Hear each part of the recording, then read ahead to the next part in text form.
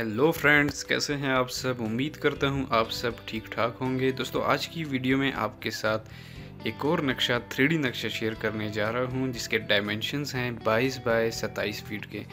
दोस्तों south face का ये प्लॉट है और इस नक्शे में दोस्तों दो रूम्स एक living area dining area kitchen toilet washing area और स्टेयर्स हैं। सबकी छोटी छोटी डिटेल्स इंपॉर्टेंट डिटेल्स जो कि इस नक्शे में इंपॉर्टेंट है, वो आपके लिए जाना भी बहुत ज़रूरी है। सबको डिस्कस करेंगे, लेकिन उससे पहले दोस्तों, अगर अभी तक आपने ये चैनल सब्सक्राइब नहीं किया तो प्लीज़ चैनल को ज़रूर सब्सक्राइब कर लें, क्योंकि दोस्तों, इस चैनल पर आपके साथ बहुत सारे इंटरेस्टिंग 2D और 3D नक्शे, घर की कॉस्ट एस्टिमेशंस और कंस्ट्रक्शन के रिलेटेड वीडियो शेयर करता रहता हूँ तो उसके लिए ज़रूरी होगा कि आप चैनल सब्सक्राइब कर लें।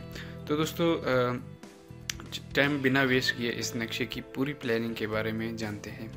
तो जैसे कि दोस्तों मैंने आपको पहले कहा ये जो प्लॉट है हमारा ये है 22 बाय 27 फीट का यानी कि 22 फीट इसकी चौड़ाई है इस डायरेक्शन में और 27 फीट इसकी लंबाई है इस डायरेक्शन में। दोस्तों साउथ फेस का प्लॉट है यानी कि इस साइड पर हमारी इसकी आ, स्ट्रीट वाली साइड है और यहाँ से हम स्ट्रीट वाली साइड से इस तरफ़ से आएँगे तो यहाँ पर सामने दोस्तों आपको चार, साढ़े चार फीट का मेन एंट्रेंस डोर मिलेगा। दोस्तों मेन एंट्रेंस डोर से एंटर होते ही दोस्तों हमारे पास बिल्कुल लेफ़्ट साइड पर स्टेयर्स होंगी जो कि फ़र्स्ट फ्लोर पर जाएँगी।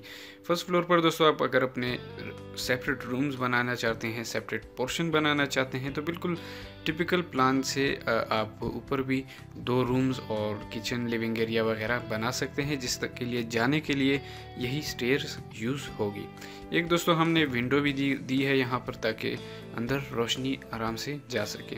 दोस्तों इसके अलावा जो आप बिल्कुल मेन एंट्रेंस डोर के साथ जो स्पेस देख रहे हैं, ये है साढ़े चार फीट की लंबाई है इस स्पेस की और इसके अलावा स्टेयर्स की जो एरिया की जो चौड़ाई है वो छः फीट है। दोस्तों, आगे बढ़ें हम तो ये जो आपको एरिया नज़र आ रहा है, ये हमारे डाइनिंग एरिया है। दोस्तों, यहाँ पर डाइनिंग प्लस लिविंग एरिया है। यहाँ पर आप अपने घर वालों के साथ बैठ सकते हैं डिस्कशंस कर सकते हैं और टीवी देख सकते हैं प्लस आप यहाँ पर ही बैठकर खाना वगैरह खा सकते हैं। इसी एरिया में दोस्तों, आपको जो सामने जाली वाला डोर नज़र आ रहा है, ये हमारे घर का किचन है। तो इस डोर से दोस्तों, हम एंटर होंगे तो आपको छः बाय सात फीट का एक किचन मिलेगा, जिसमें दोस्तों, आपकी तमाम जो चूल्हे हैं, आपके वॉश बेसिन अलमारियाँ, आपके ओवंस आपकी जो भी चीज़ें हैं किचन की, सब इसमें इजीली आ जाएँगी। तो किचन में हमने दोस्तों, एक विंडो भी दी है, जैसे कि आप देख सकते हैं। तो इस विंडो का पर्पज़ ये होगा कि जो किचन का स्मेल और स्मोक वगैरह हो, वो बाहर की तरफ़ इस खिड़की की वजह से एग्जॉस्ट हो। तो दोस्तों, वापस लिविंग एरिया की तरफ़ आते हैं। तो इसमें जो दोस्तों आपको फ्रिज के साथ बिल्कुल दो डोर्स नज़र आ रहे हैं, ये हमारे वॉशिंग एरिया है प्लस एक टॉयलेट है। तो दोस्तों टॉयलेट का साइज़ है पाँच बाय छः फीट और यहाँ पर आप देख सकते हैं, इसमें भी आपके शॉवर्स आपके वॉश बेसिन और टॉयलेट सीट वगैरह सब इजीली आ जाएगा। साथ ही दोस्तों, हमारा एक वॉशिंग एरिया है, जहाँ पर आप अपने घर के कपड़े वगैरह धो सकते हैं वॉशिंग मशीन रख सकते हैं तो ये बहुत ही यूज़फुल चीज़ है। वापस लिविंग एरिया में आएँगे दोस्तों तो यहाँ पर आपको दो डोर्स जो नज़र आ रहे हैं लिविंग एरिया में ये हमारे बेडरूम्स के हैं। तो पहले बेडरूम से एंटर होंगे, तीन फीट का इसका डोर होगा और यहाँ पर आप देख सकते हैं दस बाय बारह फीट का, दस बाय दस फीट का ये रूम होगा हमारा। इसमें आप देख सकते हैं आपका बेड आपका अलमारियाँ, आपकी तमाम चीज़ें बेडरूम की सब इसमें इजीली आ सकती हैं। तो अब दोस्तों हम अगर वापस लिविंग एरिया में आए तो आपको सेकंड डोर जो मिलेगा सेकंड बेडरूम का है जिसका साइज़ है 10 बाय 11 फीट और इसमें भी आपकी बेड्स अलमारी वगैरह सब इजीली आ जाएँगी।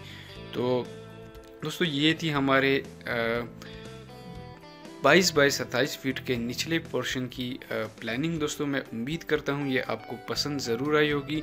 और अगर आपको पसंद आई तो प्लीज़ वीडियो को लाइक करें शेयर करें और इसके अलावा कोई मिस्टेक नज़र आती है तो आप कमेंट्स में ज़रूर बताइए।